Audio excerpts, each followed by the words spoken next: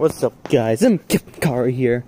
Um, so I saw the movie Teen Titans Go versus Teen Titans, and overall, I did think it was good. However, I did have a lot of problems with the film.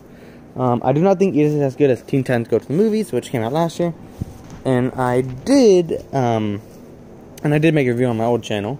Of course, that is old channel is now discontinued, but that's besides the point. Um, so some problems I have with this movie are some of the writing not with the actual Teen Titans themselves, um, maybe outside of Robin for the original. I feel like he is a lot more snotty than he originally was.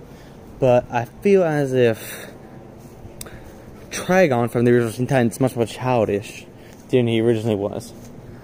I also feel like some of the animation for the original Teen Titans looks off because they're not using the original style, style, they're using the Teen Titans Go style to animate the new, to animate the old Teen Titans, which I think kind of looks weird overall, the action is fun. The, the characters talking is fun. The animation's pretty funny.